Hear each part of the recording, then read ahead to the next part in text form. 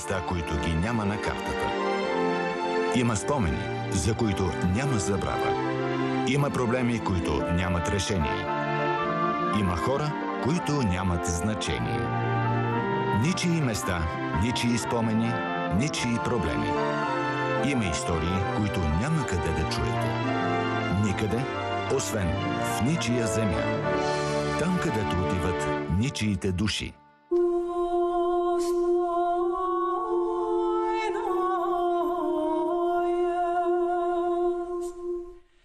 Вие гледате Ничия земя.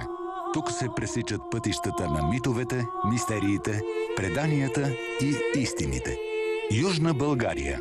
Не случайно мястото и църквата са посещавани от Ванга, която оставала с дни на поклонение и преклонение пред всичко онова, което знаела за преподобна стойна.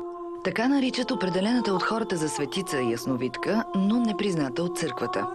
Притегателната сила на стаята и която все още се пази в църквата Свети Георги, Ванга обяснила с усещането, че крехката сляпа жена е от друг свят. Преподобна стойна. Нейните лечебни способности и поглед в бъдещето сега звучат като измислени, пазени, но измислени, заради необходимостта да се храни хорската вяра.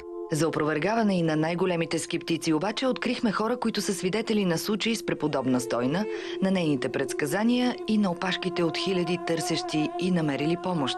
Открихме сред очевидците на свръхестествените възможности единствената все още жива жена, която преди повече от 80 години се е грижила за сляпата лечителка. Баба Мария е почти на 100 лета и е последната видяла жива преподобна стойна.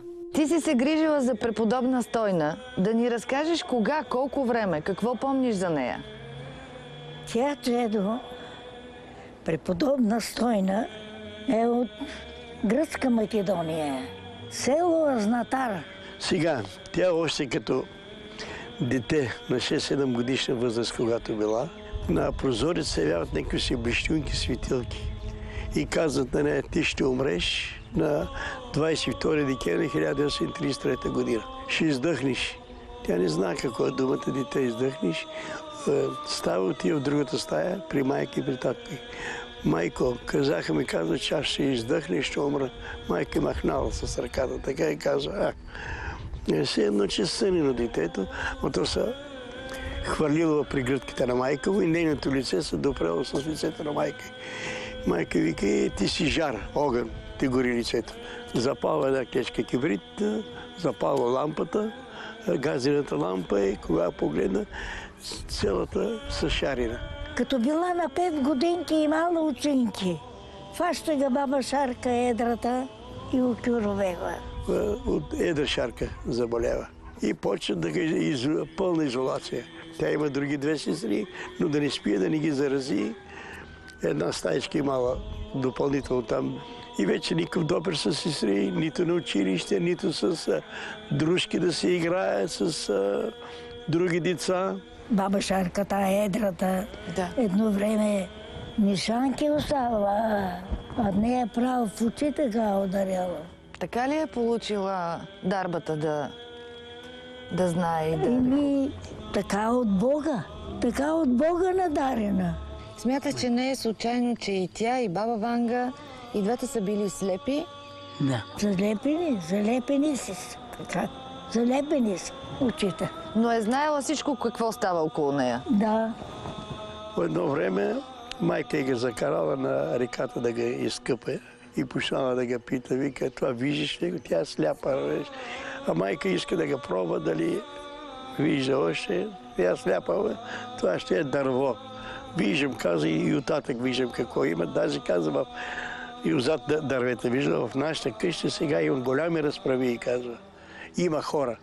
И като се прибират от реката, баща й разказва на такова, че беха, вика, тук годежарите, годежиците на по-голямата и сестра, дето върнали пръстена.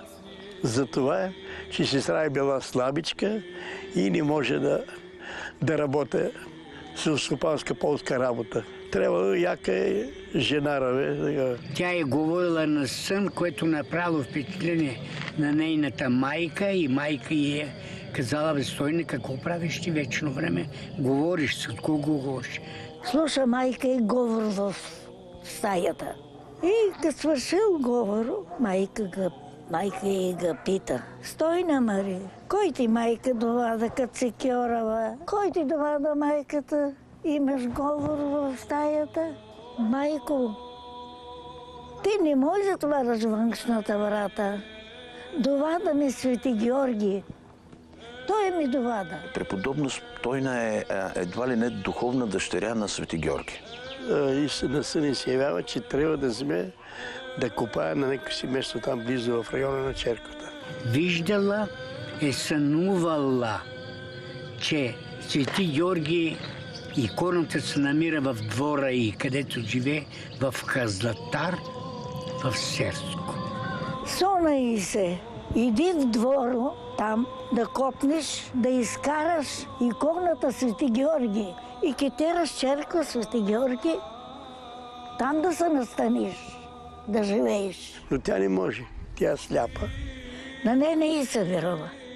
Па и се Сона. Тогава Чичи взел, копал или копал, копал и нашли една икона Свети Георги с кандило.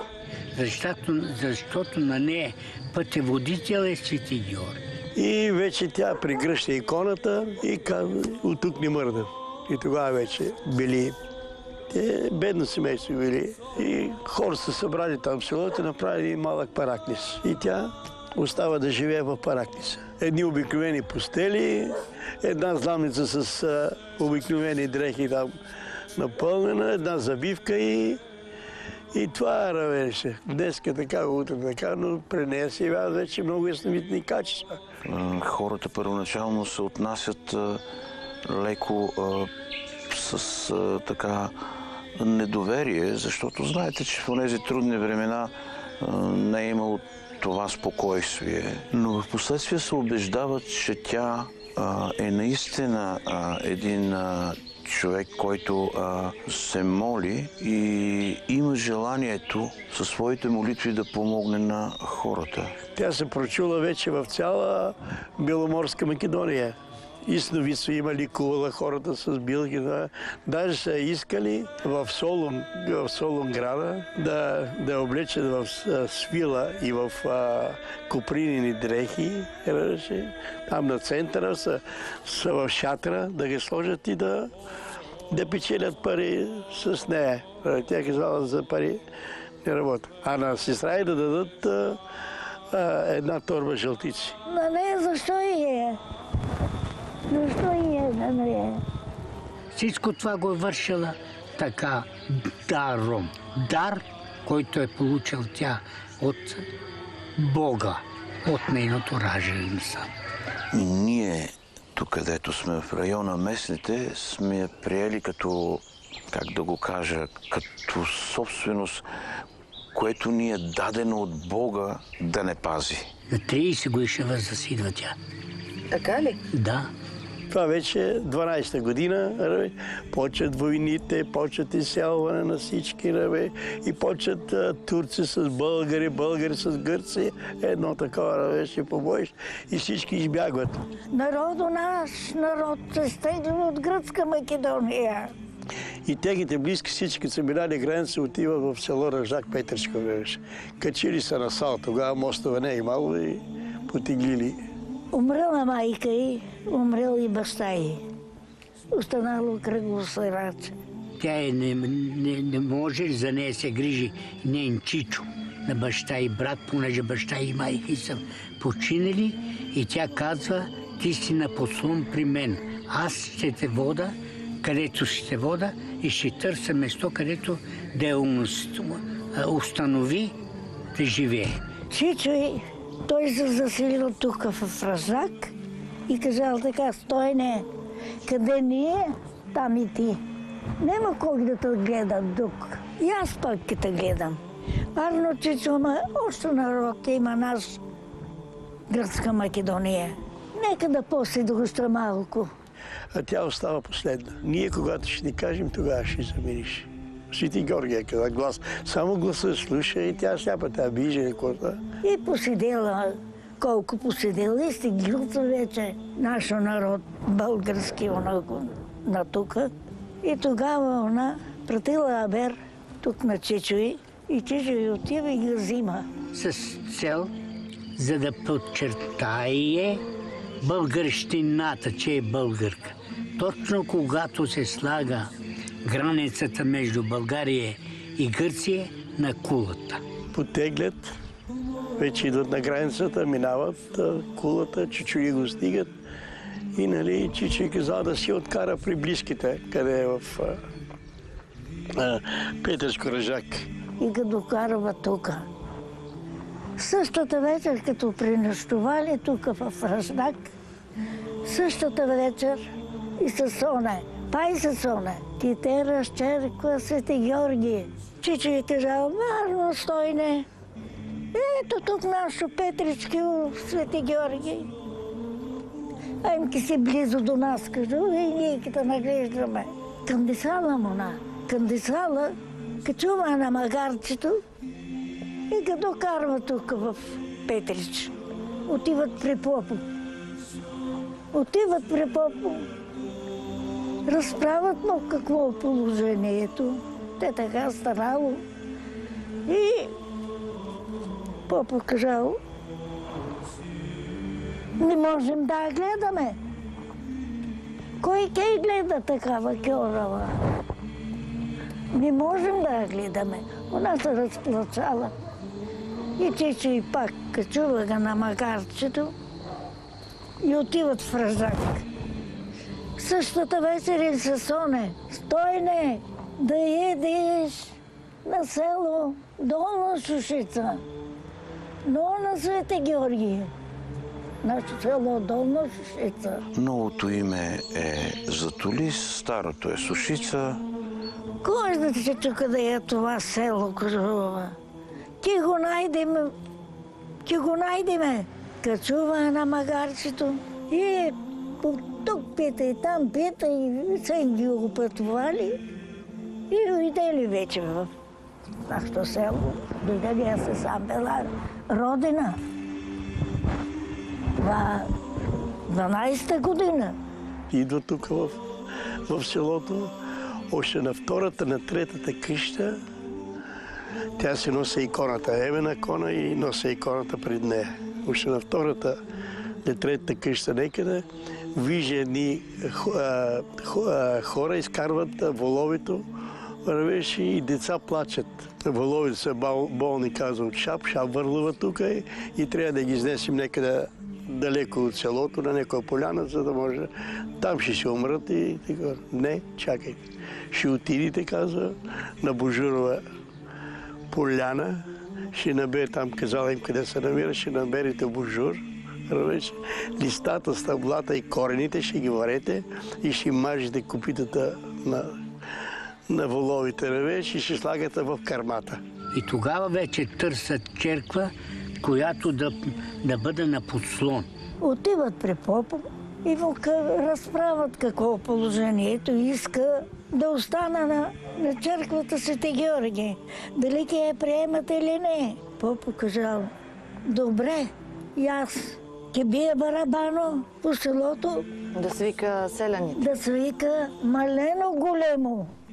Хората, които са тук, тогава, за да приемат външен човек, са се събирали в, а, като на общо селско събрание. Попов нал едно, едно момченце, дал му некой лев, да, било това дете барабано и селото и вред се събрали.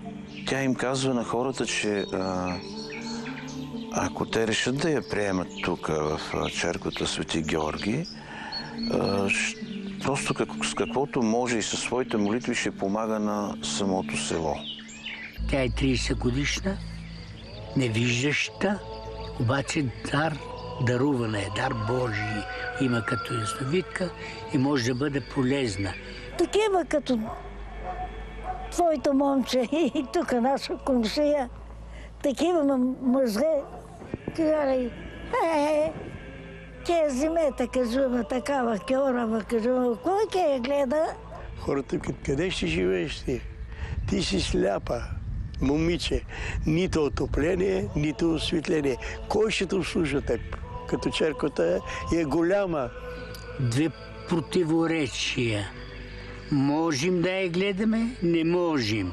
Кой те я гледа, кажала? Попа кажал. Вие не му правите сметка кой ке я гледа, кой нема да я гледа. Ние да я приемем.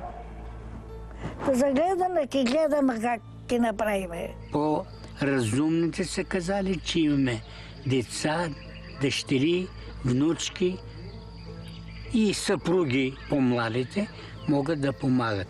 Старите хора кажали, какво да нема кой да гледа? Момите ке я гледат. Девойките. Се децвери, момиче до 16-20 години го служа. Ти, ти, ти. Водичка да я носите, да я метете, да перете. Това се иска от вас. Друго нищо не се иска. И така направили. Приели ga. И направили та една миниатюрна стаичка там, дето два на три лея равеше, малка равеше. Всичките млади мъже на черквата да са с плетеница. Пръчки режали и наполовин пръчката разцъпували ги и заплели стаичката. Нема тухли, нема тухли, нема това. Едно обикновено дървено легло, ще викат и съндъка. Един съндък. Твоята майка, едното ялце от моята майка, от, моя, от нейната баба, от друг, от друг. Судала много багаж. Седнала она там и панала дори да, да плаче. От, загрежили се са най-старите хора за нея. Помня баба Стойна, аз като дете имам впечатление във връзка с слизането и качването горе, където е стаичката. Ти грижи, се, грижи ли се за нея? И как няма да се грижиш? Какво правеше? Как, Водичка, как я помагаш? Вода ки докарах. Кажа, Мара, айде, стомничките. Две стомнички имаше, запуските отгоре с восък. С восък. Кида на чешмата, аз ки ги налям. Ония другите, имам и други.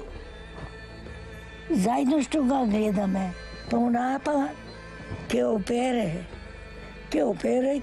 Сетна ки заметеме заедно черквата. Ки стокнеме. Ки си бегаме. Утре сме та- та там. Не минала една седмица, вече се прочува тя, че с нейната ясновица, всекъде идвали хора с, кора, с ка- каруци, с волове, беше много народ. Идвали са болни Как помагаше тя? Тя е помагала с едичката надежда, която е просто внедрявала в хората, че утре ще бъде по-хубаво от днес. И така е спасявала много хора с ръждаемост, откриване на кръци и всичко това е вършила, всичко съзнателно от дар Божий.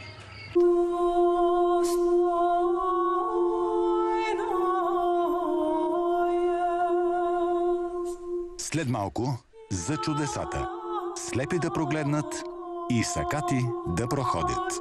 Защото баба Ванга, която я помня аз, с нея лично съм говорил, че тя превъзхожда баба Ванга, въпреки че те не са живяли по едно и също време. Все едно техният дар и ги е карал си кореспондирали. Очаквайте и за екскурзиите до отвъдното на преподобна стойна. След минути в ничия земя.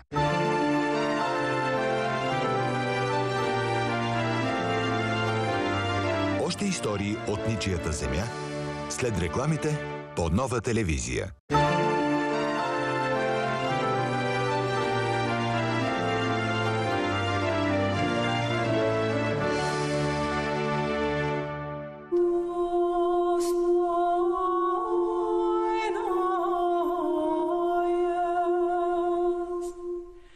на ничия земя, където животът те лашка в гранични състояния, и някои търсят спасението в още по-невероятните способности на ясновидци, се оказа, че има свидетели на свръхестественото.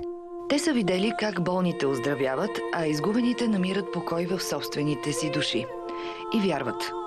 Съгласиха се да говорят за преподобна стойна и нейните способности, защото не всички от последните поколения се отнасяли с особено доверие към отдадената на пост и молитва сляпа светица.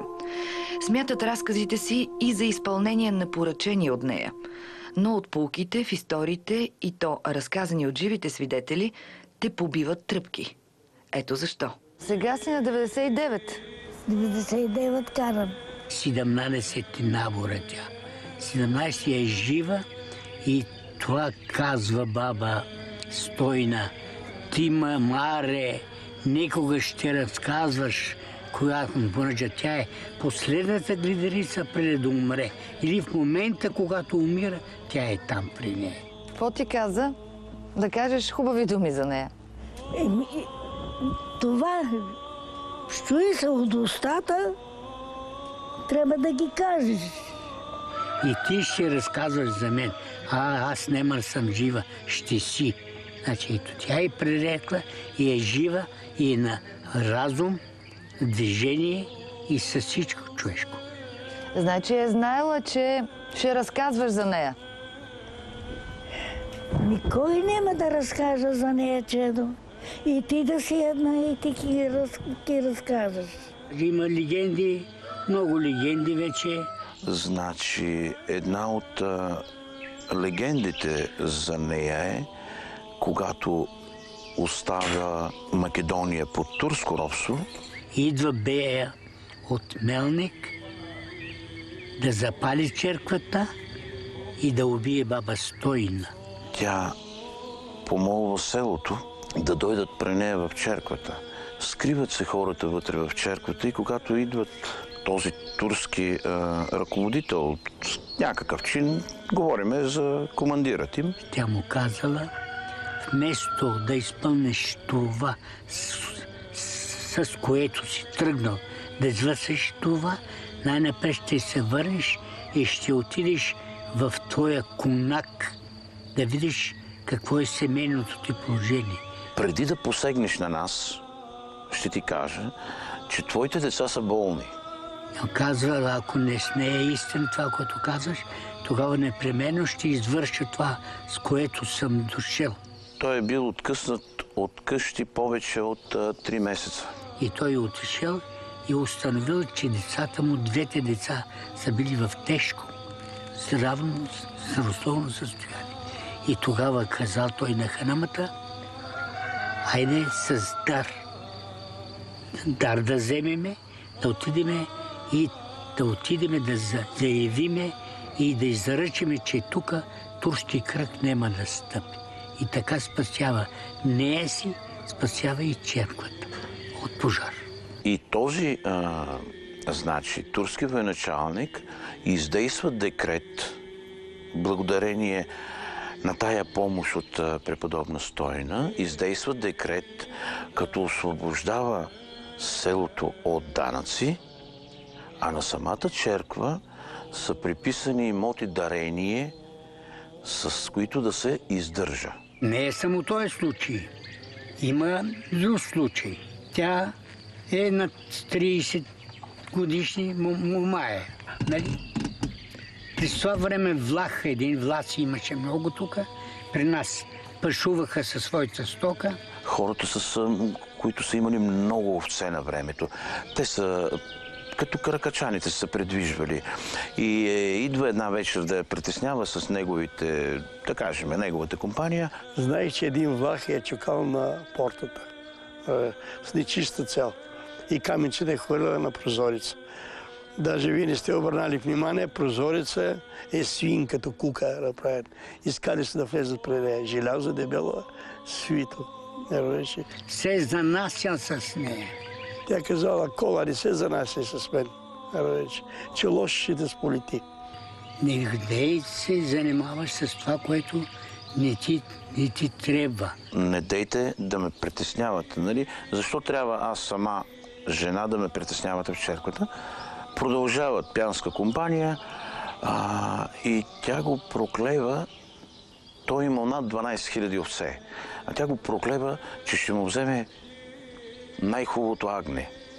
Най-хубавото агне ще ти умре.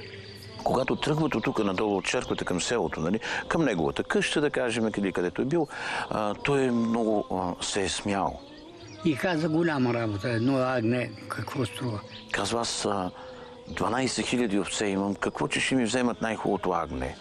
Три-четири дни след това, сина, той имал само един син. Сина му, както пасе овцете, тръгва да гони някаква овца. Ето на това баир се казва Фиданов Фрите и това висок, високия ритъм. Тук района Мелнишкия с много пропасти. Тръгва да гони овцата, да я пребере към а, а, стадото. Тръгва да гони овцата, залитва и пада в пропаста. И умира детето.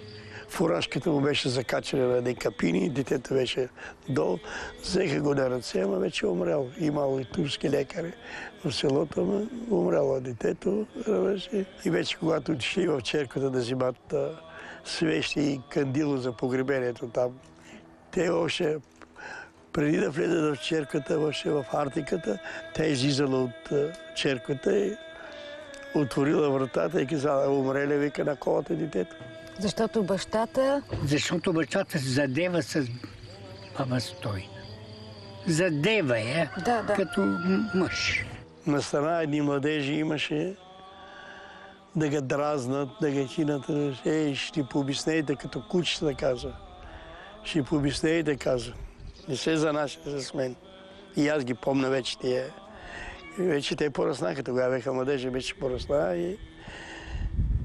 И нали знаеш, и се поболеха, и лоша участа беше. Не биват, въобще не бива да се занасяш с, с нея, с такива хора. Беше. Не така случайно тя е получила известност в света и италиански дипломат 1931 година идва, му казва неговата економика и възможността му, неговото семейство заявява. И не така случайно и английски дипломат. И той също дошъл. Научил се това английски крал. Пред мисълта за а, лорда английския и италианския дипломат тук да дойдат И он се научил, че има такво дете тук, в нашото село. И дойдел. и да им каже в очите, без да е чела, без да е чула, без да е приказвала, че еди какво си, толкова заможен, толкова семейство му, толкова деца има и живее еди къде си, работи еди какво си и т.н. Английски крал дойдел тук и бил много радостен, че дойдел доближил се до нея. И е заявил и оттам даже получава името преподобна стойна от английския дипломат. Всичко това иде да подчерта, че ясновидството не е лъжа, а това е дар, който действително го явява тя в, в житието, в живота. Как става ясно, известно на хората, че тя лекува? Какви са първите случаи, в които тя помага? Значи в а, по-голямата част, в която тя е помагала, е било с билки. Това е народолечението. Само с билки ли е лекувала или е допирала хората с Ами енергия? билки и съвети им давала пак. И съвети им давала, и билки също, пак е казвала. И лекувала. Но и с страшно много а, молитви към а, Свети Георги. Един говореше от Марикостиново. Майко му да кора казва на с едно магаре в, на черката при, подобна стойна, равеш, и ми четеше молитви. Има честен кръст. Това кръст е на нея от английски крал. Ти го тура горката в една, имаше една праслена чиния, ти, ти ги пусна тия това кръст, я така врие, така врие. ки ме помия, ки се напи от вода. До там златно чедо.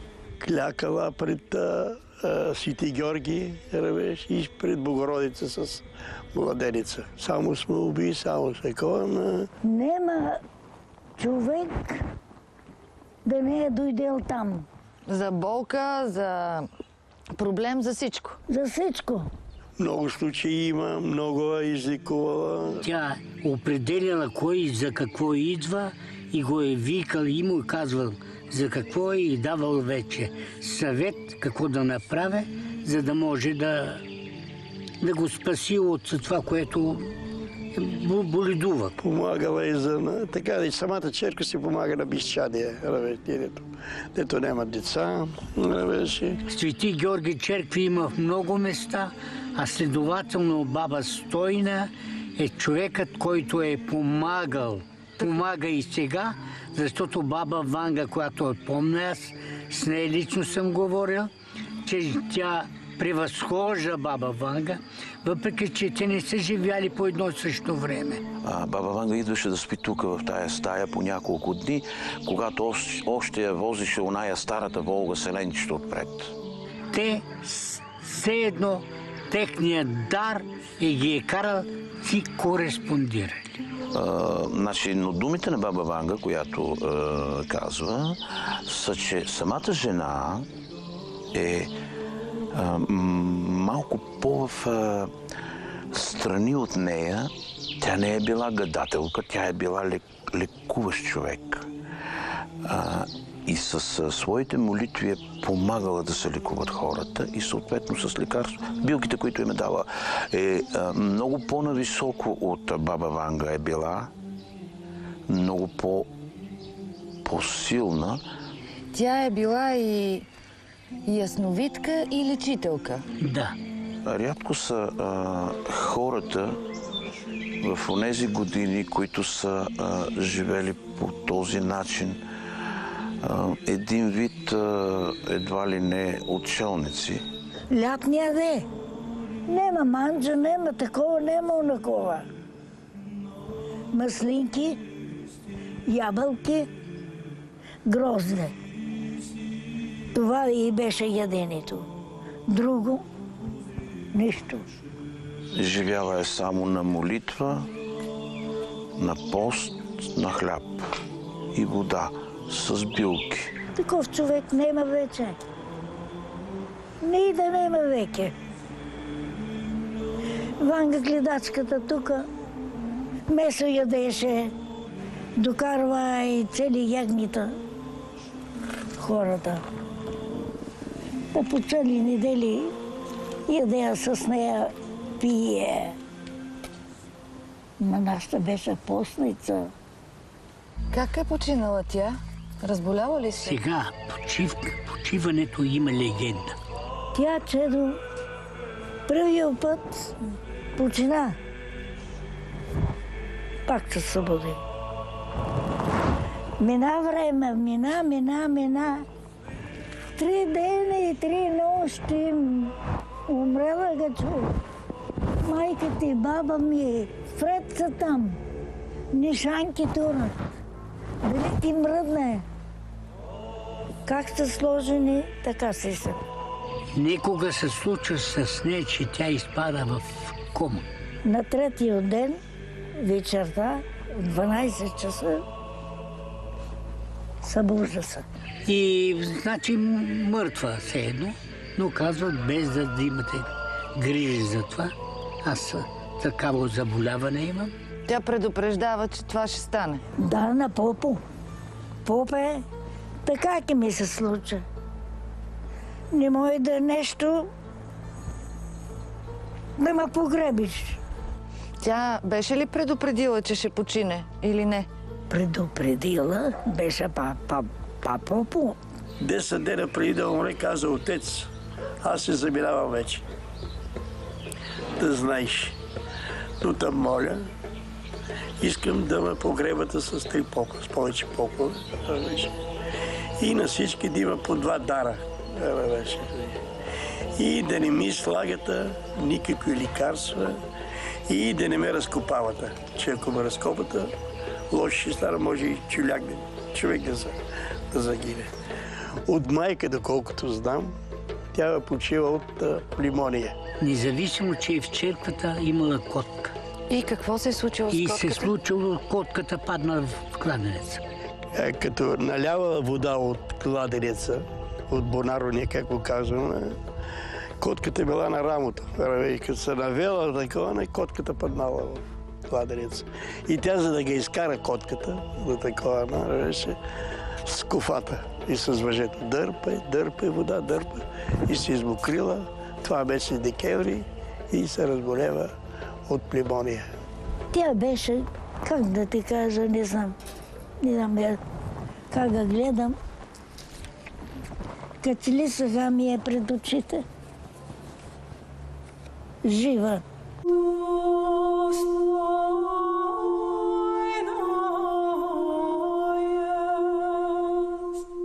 Ничия земя продължава.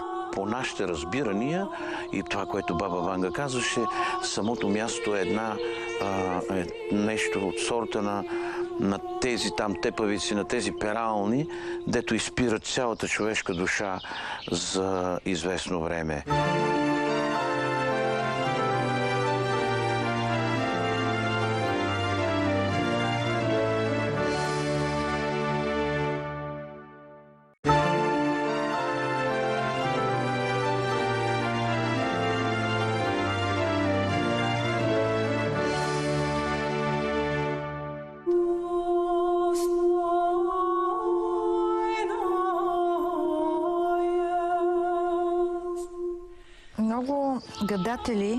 А, изпращат хората тук, за да остават дар, да се помолят или да направят нещо конкретно. Говори се и за, наистина за чудеса, за това, че това място продължава да е лечебно и да помага. Какви са историите?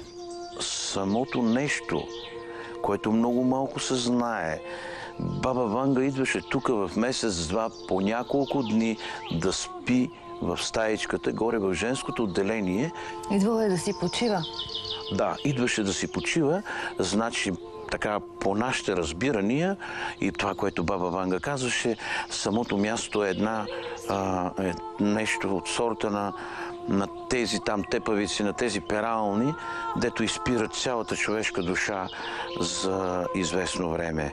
И просто се чувстваше нов, нов човек. Чужденци са изследвали дали зоната е енергийна. Да, Преди много години като деца а, обикадаше един вертолет тук, руски вертолет. На времето тук гранична зона сме, ние сме на 500 метра от Гърция. А, нямаха право български лици да летят тук в този район. А, един вертолет обикараше с една много лъскава надолу нещо като тръба, която какво е заснемала, не знаеме, но тогава е излезна всичкото това нещо, че самия район е друг. Друг. Друг. По-особен. Нещо друго. силно енергийно. Казват, че тя е посочила мястото, в което е заровено нещо тук около църквата. Кой това? А, Че Баба, баба Стойна.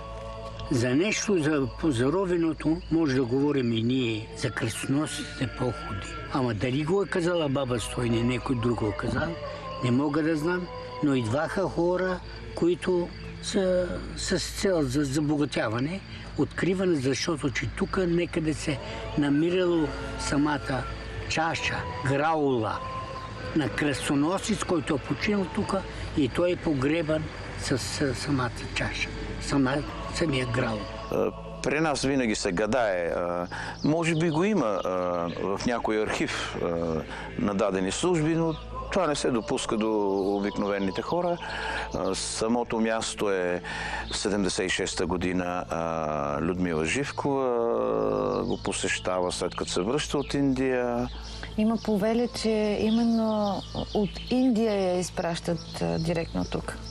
Да, така се казва, така се говори и то нейните думи са такива, че оттам и казват да дойде тук. Енергийните пътища в света се пресичат на определени места, те явно ги знаят. И така Людмила Живкова се оказва тук. Интересно, невероятно, но факт. Явно е свято това място.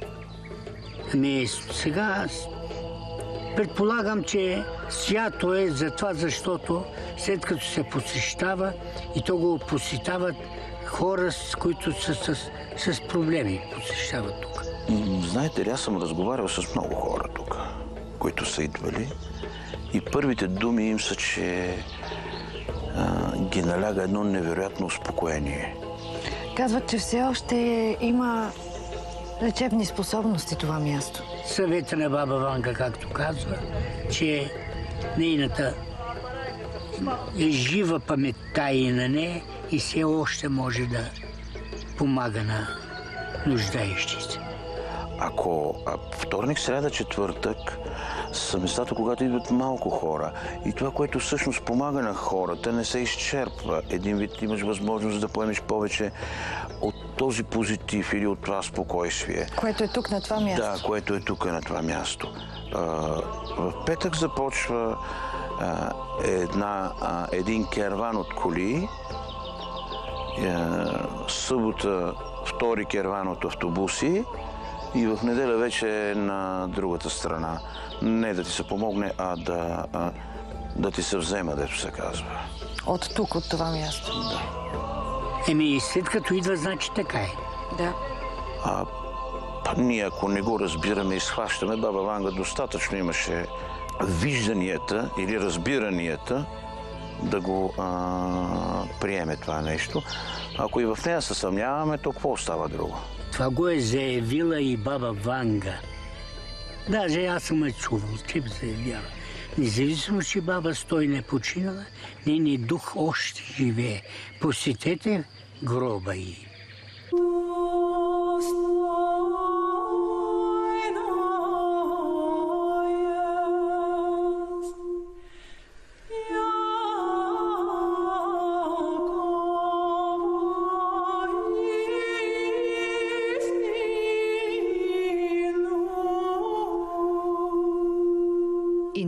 земя за обикновените и необикновените способности са нужни сетива. Някои ги развиват като тотално отчаяние от здравната реформа и търсене на спасение в крайното отчаяние от болестта.